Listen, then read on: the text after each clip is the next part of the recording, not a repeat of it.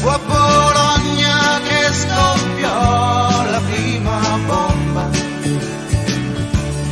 Tra una festa e una piadina di periferia. E bomba non bomba, noi arriveremo a Roma.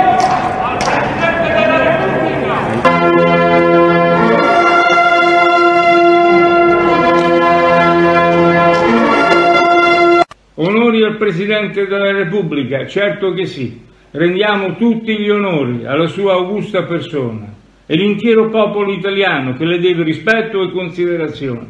Ma al tempo stesso, signor Presidente della Repubblica, ella su quel colle esercita dei poteri e ha degli oneri, primo fra tutti il rispetto e la tutela della Costituzione repubblicana e poi la sorveglianza affinché non venga la medesima violata e al tempo stesso la terzietà della sua posizione istituzionale rispetto ai tre poteri, quello legislativo, quello esecutivo e quello giudiziario. Ogni volta che a Bologna si celebra eh, l'anniversario della tremenda strage, così come anche in occasione delle ricorrenze delle altre stragi che hanno bagnato di sangue eh, l'intero stivale, ella puntualmente sottolinea e rimarca eh, la eh, regia eh, di stampo fascista. Questa cosa, se mi consente, io non ritengo di poterla condividere e ritengo di non poterla condividere proprio per il rispetto che ho nei confronti della sua persona. Al centralino della sede di un quotidiano romano l'attentato è stato rivendicato dai NAR, i nuclei armati rivoluzionari, una delle formazioni del terrorismo di destra.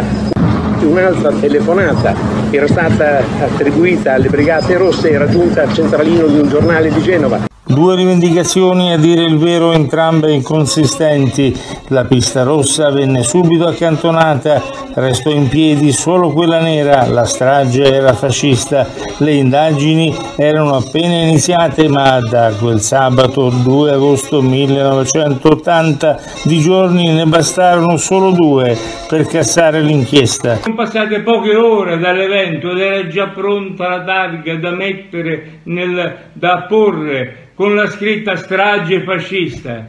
Ma questa è veramente una storia che ha dell'incredibile.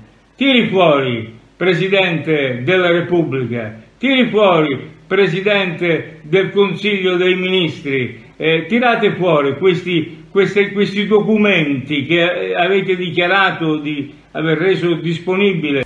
Altri hanno dovuto tener conto della storia di Bologna partigiana, antifascista e comunista e non si poteva che condannare due fascisti, insomma.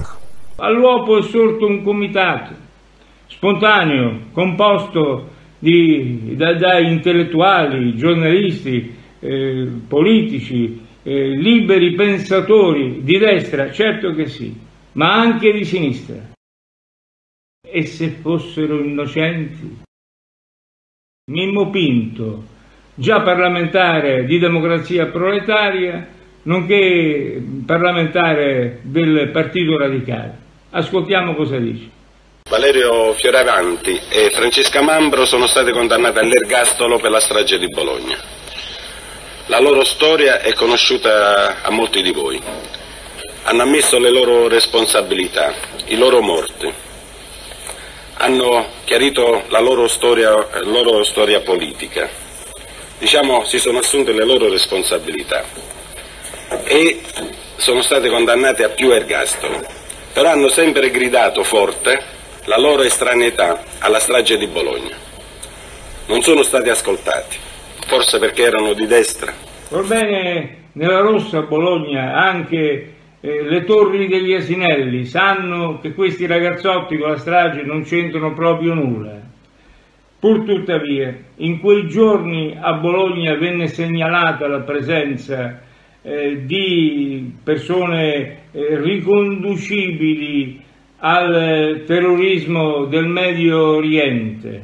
Credo che lì fosse in atto da parte di terroristi del Medio Oriente in atto un trasporto di, di esplosivo, che loro siano scesi dal treno e che gli sia scoppiato. Questa eh, pista, la cosiddetta pista palestinese, favorita dal Lodo Moro, Presidente Mattarella, il Lodo Moro, il suo leader politico, Aldo Moro, il quale rese un servigio alla nazione perché con eh, l'allora capo dei servizi segreti, eh, il generale Miceli, fece una intesa. Una sorta di patto di reciproca resistenza voluta verso la metà degli anni 70 da Aldo Moro fra lo Stato italiano e le organizzazioni terroristiche palestinesi. Poco importa se le cosiddette stragi di Stato siano avvenute tutte con al vertice dello Stato governi del centro-sinistra. Così nel dicembre 1969, quando ci fu la strage milanese di Piazza Fontana, e ugualmente accadde nell'agosto 1974 per la strage sul treno Italicus e per quella di Natale del dicembre 1984 ma anche il 2 agosto 1980 con la strage di Bologna il governo era di centro-sinistra. Le definirono stragi di Stato sulle quali venne apposto per l'appunto il segreto di Stato. Stai a vedere che ci hanno raccontato un'enormità di balle la Repubblica non è mai stata democratica ed antifascista ed è semmai fondata su tutto ed il contrario di tutto tranne che sulla resistenza. Presidente Mattarella, mi chiedo e le chiedo, ma furono stragi di Stato o contro lo Stato? Se quella fu strategia della tensione, siamo forse di fronte a sentenze della finzione?